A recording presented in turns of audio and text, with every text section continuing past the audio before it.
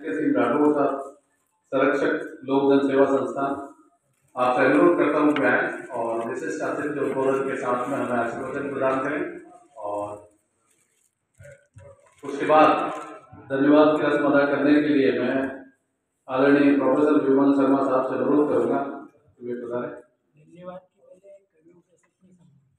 धन्यवाद की रस्म से पहले सभी कविगण जो यहाँ उपस्थित है, जिन्होंने रचना पाठ किया है, उनके भी सम्मान के क्रम है। तो वो क्रमशः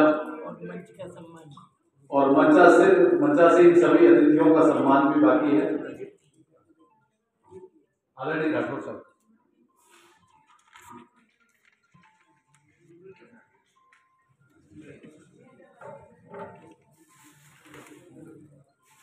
सम्मानित मंच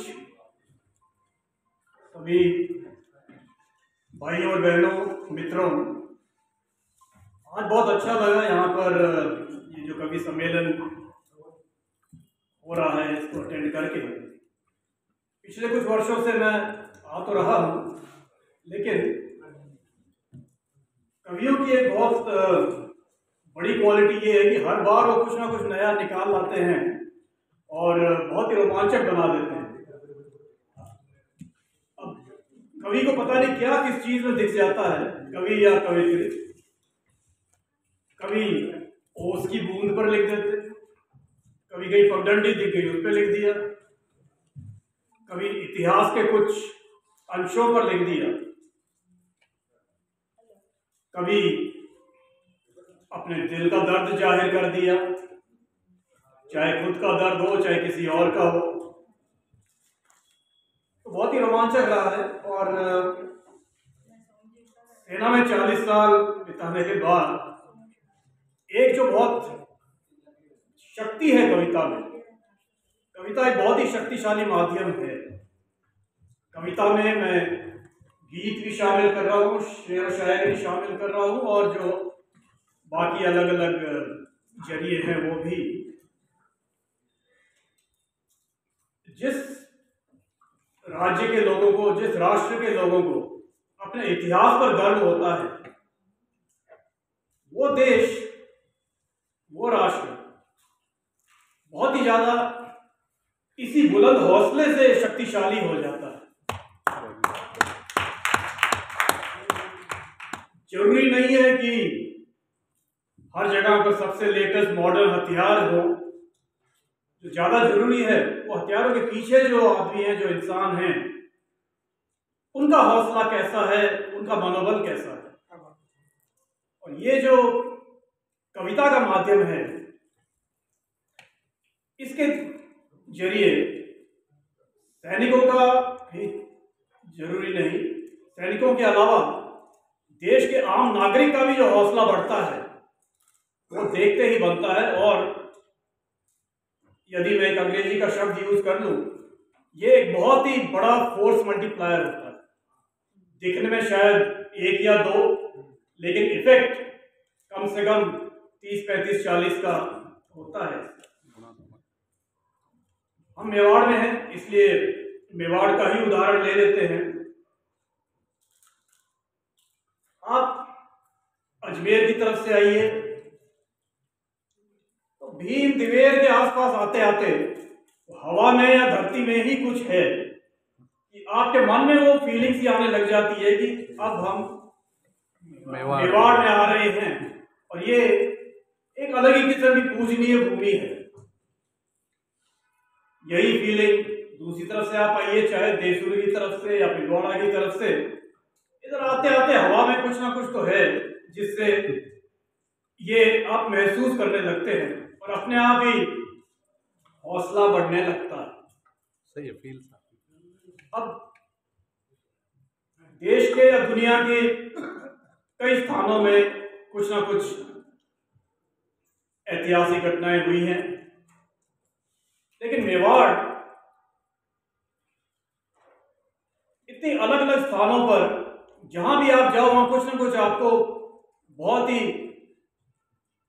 बहुत ही बड़ा इतिहास, बहुत ही बड़ी ऐतिहासिक घटना हुई हुई, मिलती है। फिर अगर उत्तर से ही आया, अब दिवेर पहुँचते हैं। आपने हल्दी घाटी का तो ज़िक्र किया, लेकिन एक सैनिक के तौर पर मैं मानता हूँ कि हल्दी घाटी पंद्रह के युद्ध के मुकाबले, दिवेर का पंद्रह का युद्ध बहुत ही बड़ा निर्णायक था। और उस युद्ध के बाद में अकबर ने कभी मेवाड़ की तरफ़ आँख उठाकर देखने की हिम्मत नहीं की। अब और अंदर आ जाइए नाथद्वारा पहुँचते हैं। वो कोई छोटा काम नहीं था जो राज सिंह जी के टाइम में हुआ था। मथुरा से घूमते घामते श्रीनाथ जी को यहाँ पर जगह मिली। और वो जगह भी बहुत बड़ा खतरा मोल लेते हुए राज सिंह जी के शब्द आज भी याद हैं। कि आप यहाँ पर स्थापित करिए और हमारे एक लाख योद्धा भी मारे जाएँ तो भी आप यहाँ पर सुरक्षित रहेंगे। और आप अंदर आइए, थोड़ा दक्षिण की तरफ़ जाइए। चावंड के पास से जो मेन रोड गुजरता है, वो चावंड के बोर्ड देखते ही कुछ ना कुछ मन में आने लग जाता है। महाराणा प्रताप ने वहाँ पर जो भी किया, उसकी ज़्यादा डिटेल में मैं नहीं जाऊँगा। और आगे जाइए, सलूम्बर पहुँचते ही हाडी रानी एकदम से ध्यान में आ जाती हैं। तो बहुत ज़्यादा समय नहीं लेते हुए मैं यही कहूँगा कि इतिहास और कविता का जब मिश्रण होता है तो ये तो एक बहुत ही बड़ी शक्ति अपने आप पैदा करती इतिहासकार मिनारिया साहब अभी यहाँ थे शायद अभी पधारे होंगे। माथुर साहब भी थे माथुर साहब भी थे। हाँ, मिनारिया साहब माथुर साहब ऐसे और भी इतिहासकार।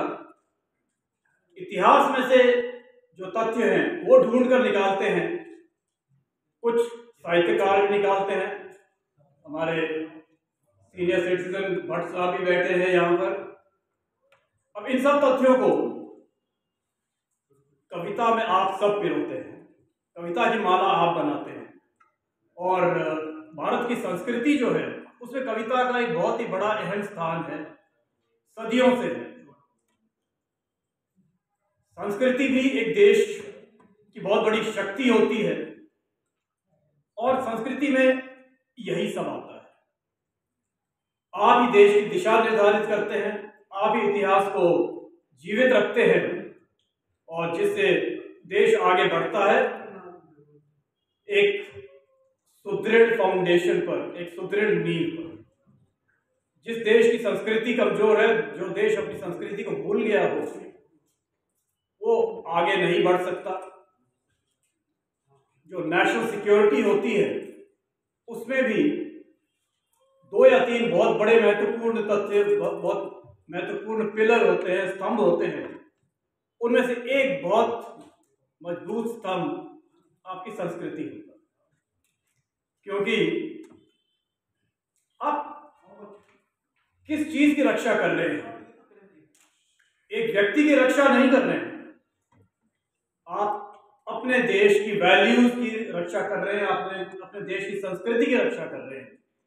और वही संस्कृति है जो हौसला आगे बढ़ाती है और सभी देशवासियों को अपने देश के प्रति गर्व महसूस करने के लिए प्रेरित करती है। तो आप सबका बहुत बहुत धन्यवाद जो आप यहाँ पधारे और हम सब बहुत लाभान्वित हुए आपने जो प्रस्तुतियाँ दी उनसे। ज़्यादा समय नहीं लेते हुए आप सबका एक बार फिर से धन्यवाद देता हूँ। बहुत बहुत धन्यवाद। एक महत्वपूर्ण जानकारी मैं जनरल साहब की आपको दे देता हूँ। आप चित्तौड़ के युद्ध में जयमल और कत्ता जी का नाम सुना होगा कल्ला जी का। ये तीन योद्धा महत्वपूर्ण हुए थे, जयमल जी और कल्ला जी के वंशज हैं आप इसीलिए हमारे बीच स्नेह, आदर, प्रेम और स्वार्थ और सहयोग की भावना के साथ हमारे साथ जुड़े हुए मैं इनको नमन करता हूँ। कि ये हमारा हौसला बढ़ाने के लिए तन, मन और धन सबसे हमेशा साथ रहते हैं। समय आज सुबह आप हमारे साथ मोहताबाद में मौजूद थे और अभी यहाँ और आने वाले दो दिन के कार्यक्रमों में और तीसरा जब समापन वाला गायत्री शक्तिपीठ पे कार्यक्रम होगा, तब भी आपका आशीर्वाद बराबर मिलता रहेगा। महत्वपूर्ण व्यक्ति और उनके संबंध होते हैं। तभी इस तरीके के कार्यों में वो जुटते। हैं उनका फैमिली बैकग्राउंड होता है, तभी जाके ऐसे कार्य होते। तो मैं जगावत जी से कहूँगा कि एक दफे पहले तो मंच का स्वागत करते हैं, फिर क्रमश कवियों का भी स्वागत।